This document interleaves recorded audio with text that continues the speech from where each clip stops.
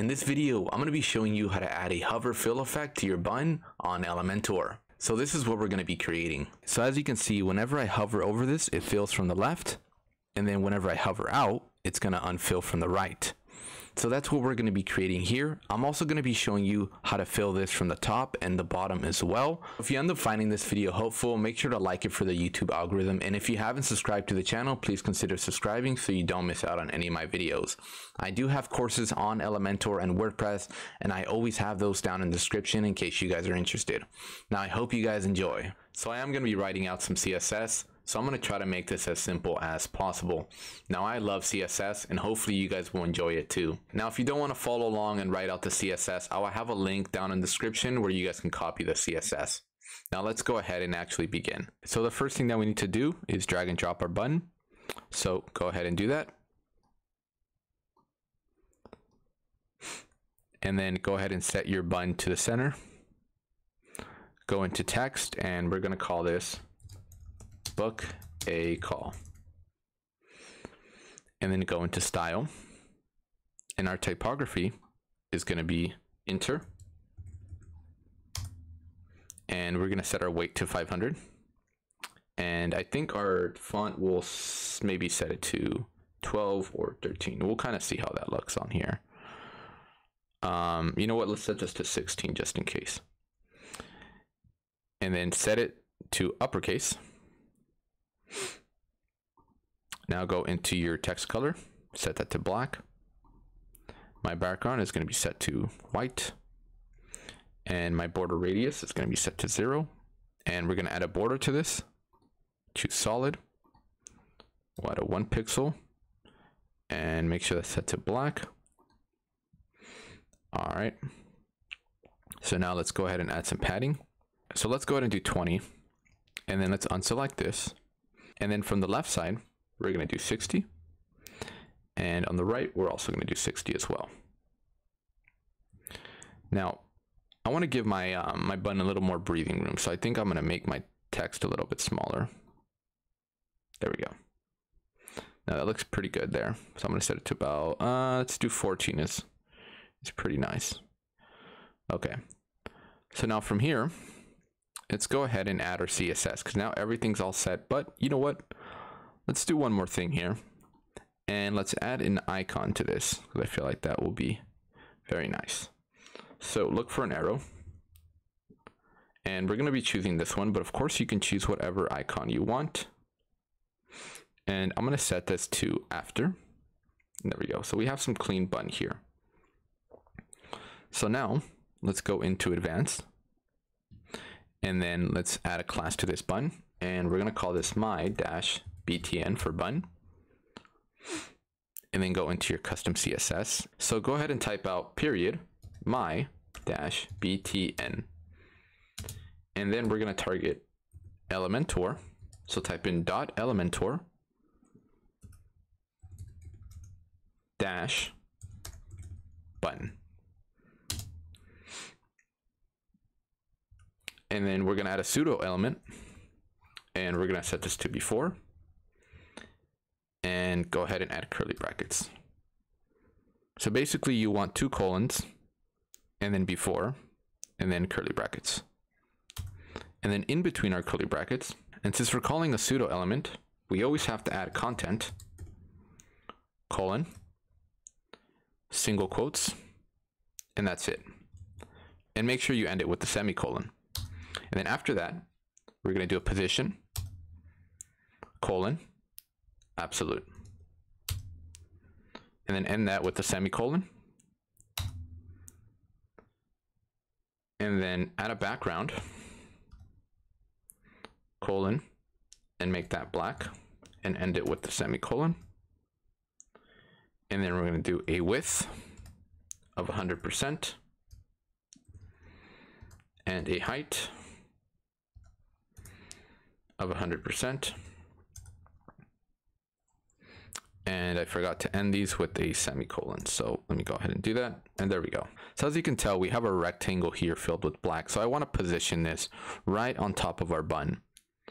So go ahead and type in top, semicolon, zero, and then from the left side, semicolon, zero, and end, and end both of those with a semicolon.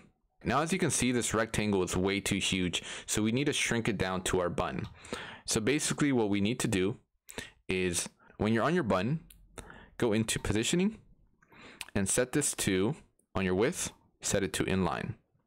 There we go. Now, automatically, I have mine set to the center, but yours would probably be set to default. So make sure you set that to the center or wherever you want to place your bun, you can set it to the start as well. But I will set mine to the center. Okay, so now let's go back to our bun. So now let's go ahead and type in transform, colon, scale, and we're gonna do a scale X. And then we're gonna go ahead and add some brackets. And then in between this, we're gonna do zero. And as you can see, now we can't see our rectangle. So let's go ahead and end this off with a semicolon. But don't worry, we'll worry about that later. So now go ahead and type in transform dash origin. And we're gonna set this to the right. So basically, whenever I hover off my button, I want it to unfill from the right. So now let's go ahead and set up a transition. And this is just going to allow pretty much everything to work very smoothly. It's going to transition my fill effect. Because if I don't add a transition, it's just going to go straight to the background and it's not going to have that fill effect. So now on our transition, let's go ahead and add transform because that is what we're targeting. Transform. So basically what we're saying on transform, we want it to have a duration of 0.4. So I'm going to type in just 0.4 seconds and then we're going to do an ease. Now that should be it for our pseudo element. So now we're going to go ahead and add our hover class. So basically we're just going to copy this. We can copy all of it. And I'm going to paste it down here. And then right after my Elementor dash button, I'm going to go ahead and add a colon and hover. And then after that, make sure that you have your pseudo element, two colons, and then before. And then after our before, go ahead and add some curly brackets. And then within these curly brackets, we just have to add a transform, scale, x, brackets, and in between this, we're going to put 1. And then I'm going to go ahead and end this off with a semicolon. Now under here, we're going to add another transform origin. So I'm going to type in transform dash origin. And instead of the right, we want it so then whenever we hover on this, it fills towards the left side instead of the right. That's why we're going to have that effect where it fills on the left side and then it leaves on the right side. So I'm going to go ahead and type in left and then end this with a um, semicolon and let's go ahead and see if this works. So now, as you can tell, whenever I hover over this, we have that cool fill effect where it ends up filling from the left and then it fills out from the right. Now, of course, if you just wanted it to go one way on your hover effect, just go ahead and remove this here. And then now, if we hover over it, you will notice that it will just fill from one side and go right back to where it was. So, or we can set this to the left side. And now it will fill from the left and it will fill out from the left as well. But I kind of like that other effect, so I'm going to leave it as is. Now, of course, we are running into some issues we can't see our text first of all. So go into your style and then go into um, hover and let's set our text to white. And now as you can tell, we still can't see it and there's not a problem with that. We just need to add some more CSS. So go back to your advanced, go to custom CSS. And what we need to do is just target our um, button title here. So go ahead and type in dot my dash button btn and then type in dot elementor dash button dash title. Or you know what? I think it's sorry it's elementor dash button dash text instead. And then we're going to go ahead and set a z index of 1 now if we hover over this, huh. Now you see why that's not working? It's because we haven't set our text to white yet. So let's go into style. Go into hover. So you know what I ended up doing instead I didn't even notice. I set up my background type to white. So let's go and remove this and let's make this white here. So now whenever we hover over this, we can see our text. So that's perfect. So let me go back into advanced and let me go into CSS here. So now this is working really great, but the only issue is that I don't see my icon. Now you would think that Elementor would for some reason have that option where I can add a color to my icon on hover, but for some weird reason Elementor doesn't, but hey, we love Elementor, so we're gonna keep using Elementor. So let's go into um, advanced on my button and let's just target the CSS and it's very simple. So basically type in dot my dash button. It's already saved on there, which is cool. So let's just go ahead and click enter and then let's target the Elementor button. So Elementor button, except after button, we're going to do another dash and we're going to do icon instead.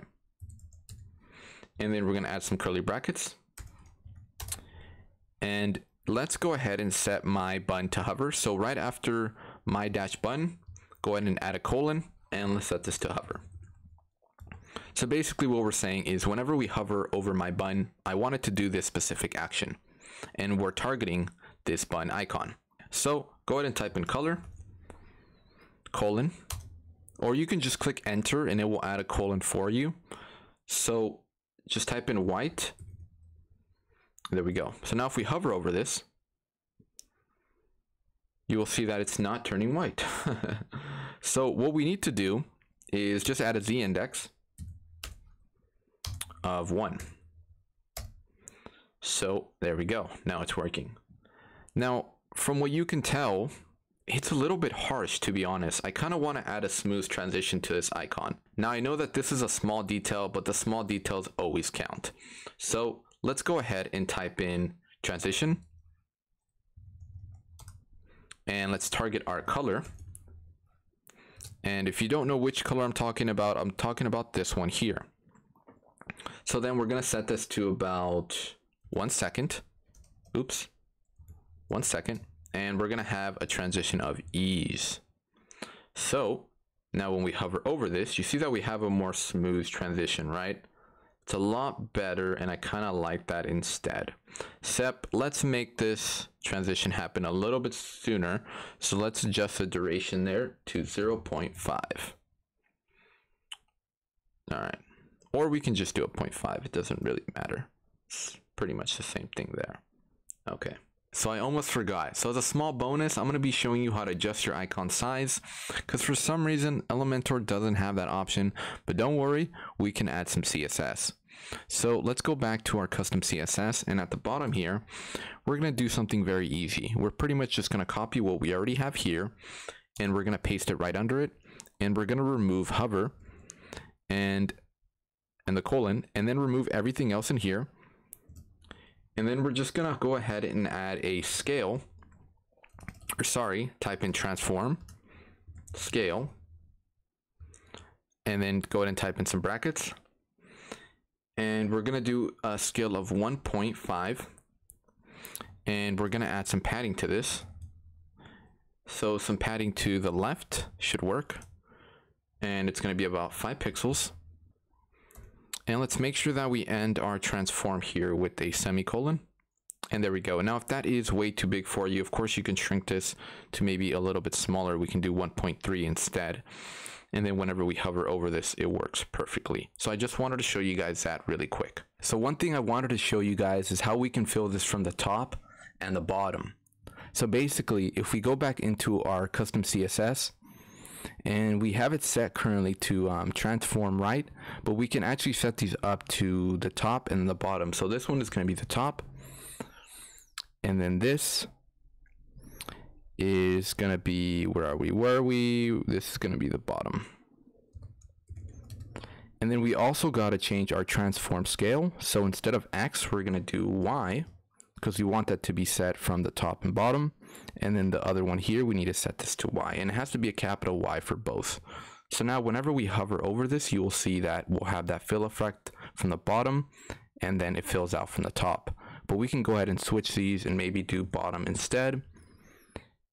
And then go ahead and do um, top from this one. And there we have it.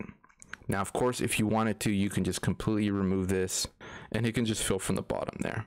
There we go. Now, I believe that is pretty much it for this tutorial. Hopefully it wasn't too long and you did get a good understanding of my CSS code. If you do like these types of videos, make sure to subscribe to the YouTube channel so you don't miss out on any of my content. Now, if you did enjoy this video a lot, make sure to like it for the YouTube algorithm. It is greatly appreciated and it helps out the channel quite a bit. So thanks for watching and I'll catch you guys in the next video.